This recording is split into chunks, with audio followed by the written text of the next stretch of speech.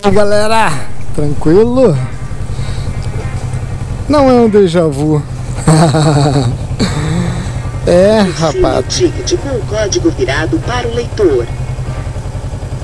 Tô eu aqui de novo. Saindo tarde de novo.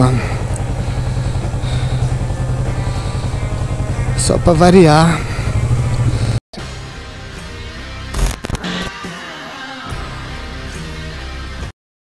Bom, espero que amanhã eu já consiga sair no meu horário.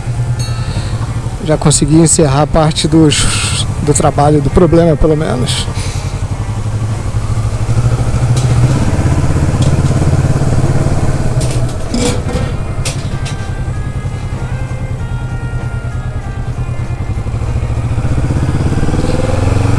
A vantagem, turma, só tem duas. Primeiro, vir de moto, né? E a segunda é que nesse horário não tem muito trânsito. Então depois que eu pegar a linha vermelha eu devo conseguir andar numa boa. Uma hora no máximo eu devo estar em casa. Mas sair nesse horário do Rio nunca é bom, né? Nunca é legal.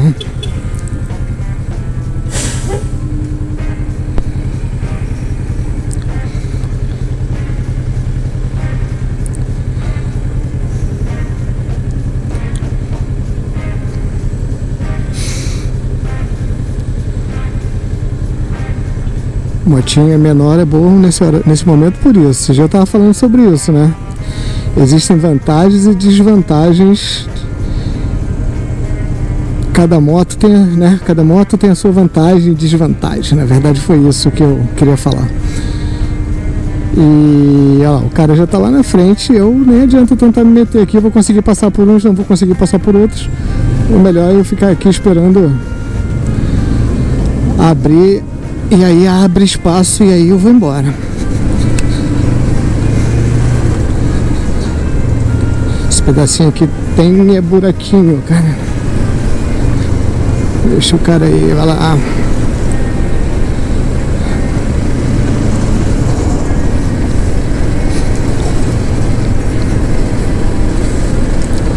Porra, hoje tá calor, hein?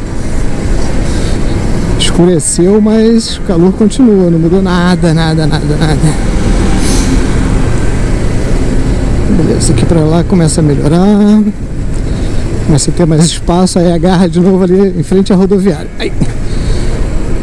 Aqui só tem que tomar cuidado porque tem radar, pelo menos tem sinalização de que tem radar. Né? Eu te confesso que eu nem sei onde fica o radar daqui, mas devem ser nos semáforos ou nos sinais, como falo aqui no Rio no farol em outros estados.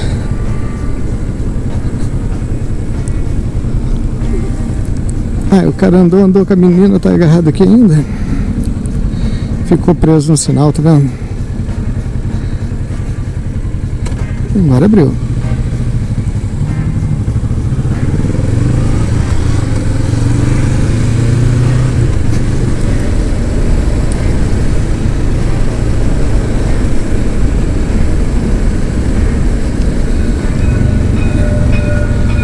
O... Ih, caralho, deu ruim ali. Ninguém atravessa na frente do... Ainda bem que ele veio pra cima de mim. Vagabundo atravessa, cara, na frente do VLT, não quer nem saber, cara. O VLT vem buzinando igual um doido. Eu sou muito cagão mesmo, cara, porque eu não me arrisco a fazer essas coisas, não. Eu só passei porque eu vi que o cara não avançou pro meu lado, porque eu tava com medo dele avançar.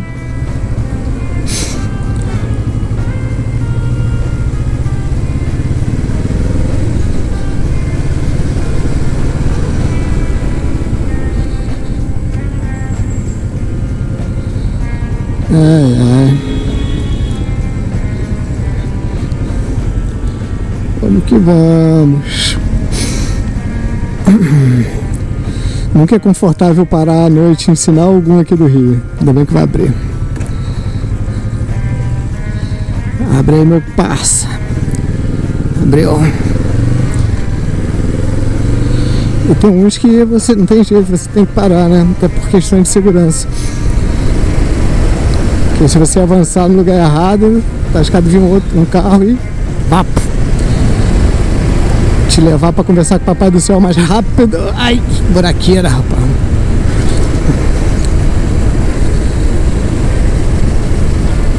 Esse aqui, por exemplo, já dá pra gente avançar, entendeu? Vai na maciota. E aqui então, aqui não é lugar pra ficar mesmo. Ó. Eu fui assaltado atrás desse prédio aqui, ó. Quando levaram a Tenerê. Foi aqui atrás. Ah, polícia ali, tá vendo? Tinha blitz, cara, ó. Tem polícia direto aqui. Os caras assaltaram entre dois policiais, entre duas blitz. Os caras me assaltaram numa transversal. Ou seja, a turma aqui não tem medo de polícia não. Os caras estavam montados, fuzil, pistola. Ou seja, se tem um carrinho da polícia assim com dois caras, também não barro eles não. Tudo bem que na Blitz tinha mais, né? Mas. Ia ser uma briga feia. Os caras estavam armados até os dentes.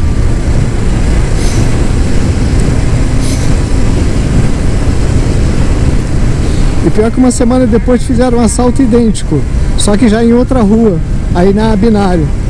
E foi de manhã cedo, foi o contrário, né? Porque no dia que me assaltaram foi à noite. Os caras fizeram a mesma coisa, pararam, levaram o primeiro carro e levaram uma moto e limparam o resto do pessoal.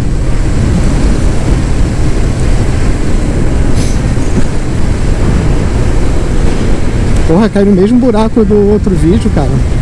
Agora até eu vou começar a achar que é déjà vu. Déjà vu. Déjà vu.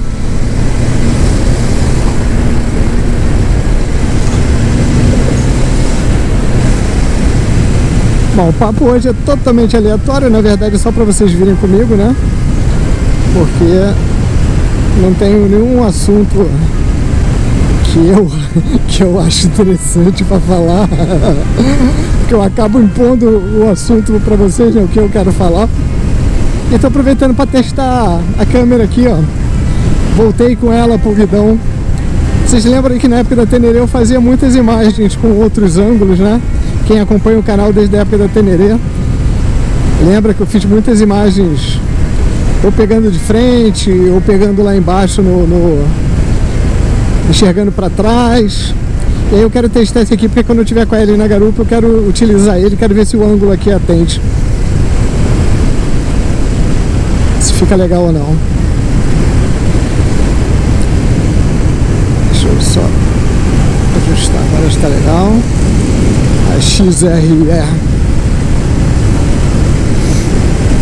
Eu não acho essa XRE vermelha bonita não, cara. Vocês gostam? Eu sei que tem uma turma aí que é fã da XRE, né? Mas, pô, achei que essa ficou tão esquisitinha. Não sei se é. Gosto não se discute, né? Cada um tem o seu. Graças a Deus.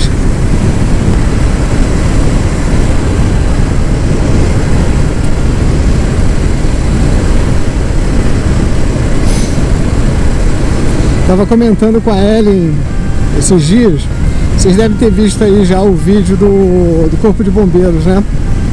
E a Ellen tá aprendendo a pilotar, né, cara? Então, assim, muitos macetes, muita malandragem que a gente já tem, ela ainda não tem. Igual ali atrás agora, vocês perceberam que eu fui para a pista da esquerda. Por quê? Entram carros aqui na pista da, da direita, que é onde eu estava indo. Porque tem uma entrada ali de quem vem da ponte, que fizeram agora recentemente na linha vermelha, há pouco tempo, né, na verdade. Então assim, eu tava falando com ela que andar de moto você não pode andar da mesma forma que você anda de carro. Aí ela me perguntou, como assim? Eu falei, ah, você não pode ser tão certinha dirigindo moto. Mas na verdade o que eu quis dizer para ela, e depois eu expliquei melhor, é que na moto você tem que estar tá sempre ligado, tem que estar tá sempre na defensiva. Então você percebeu alguma coisa estranha lá na frente? Talvez de carro você se mantivesse na mesma posição e pagaria para ver o que vai dar, porque no carro você está um pouquinho mais protegido na moto, né? Então você percebeu alguma coisa estranha, você já sai, você já reduz, você já acelera, né? Vai depender cada situação, você vai agir de uma forma diferente, cada tempo de reação você vai agir de uma forma diferente. Mas com certeza não é da mesma forma que você pilota um carro. E que andar em baixa velocidade de moto é muito arriscado. Né? Então, assim, se você está numa pista onde a velocidade é 110, cara, de preferência ande no mínimo a 110. Para quê? Para que você de moto, você escolha por onde você vai passar. E não o contrário. Porque se você deixar que o carro decida onde ele vai passar, a chance dele te botar em risco é muito grande, muito grande. Infelizmente nós temos muito motoristas, eu ia falar motociclista, temos muito motoristas que não respeitam o motociclista. É pior ainda, não respeita a lei de trânsito, né? Porque todo mundo sabe, todo mundo que pilota sabe, ou pelo menos deveria saber, que os maiores cuidam dos menores. Então nós de moto temos que nos preocupar com pedestre e com ciclista, principalmente, né? Para que a gente, eles são mais frágeis que nós. O, motor, o motorista já inclui os dois que a gente se preocupa, mais o motociclista. O caminhoneiro, né?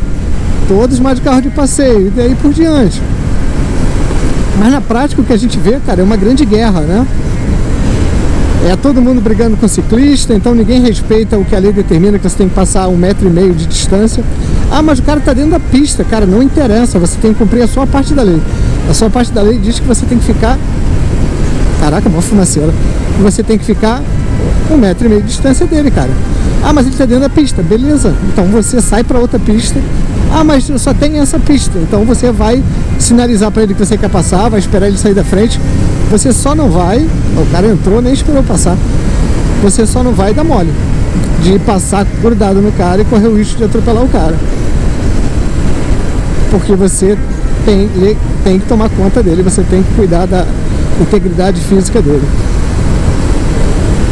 E aí a gente vê o mesmo no carro, né, cara?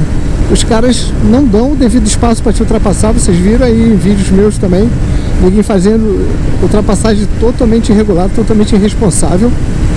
E o pior ainda, ficam putinhos porque se acham certos, cara. Eu fico impressionado com essa turma. Parece que o certo é o errado, invertem totalmente a situação. Ah, você tá andando devagar na pista, que eu estivesse andando devagar. Naquele caso lá eu nem estava, porque a pista é 80, eu estava 90, ou seja, eu estava acima. Se tivesse um radar eu seria multado que eu estava acima da velocidade na pista. E ainda assim o cara se achou no direito de me ultrapassar de forma indevida e ainda ficou putinho porque eu reclamei. Ou seja, tá naquele hall dos babacas, né? Que eu falei, não seja um, cicl... um motociclista babaca. Então, não seja um ciclista babaca, não seja um motorista babaca. Que tem pra cacete. O que mais tem são essas pessoas que se acham certas quando estão totalmente erradas. É o seguinte, cara, todo mundo erra, eu erro, você erra, tá? Né? Eu sei que alguém vai criticar aí, mas vai ser certinho, não, cara, eu também erro. Só tem uma questão, quando eu erro, eu tenho que reconhecer que eu errei. Falar, beleza, errei. Né? Se eu botei a vida de alguém em risco, desculpa. É o mínimo que eu poderia fazer é pedir desculpa. Quando eu dou uma fechada em alguém, faço uma manobra errada e piso na bola, e ninguém reclama comigo, eu peço desculpa, é isso. Mas não, ninguém acha que vai ser menos homem se pedir desculpa. Não, é um merda assim, não pedir.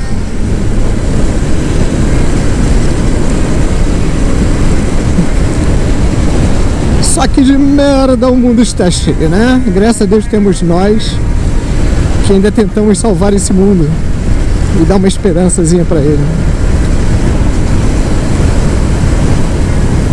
isso aí, turma. Também o papo já tá ficando chato pra cacete, né? Vamos terminar esse vídeo por aqui pra ele não ficar pior? Então fechou.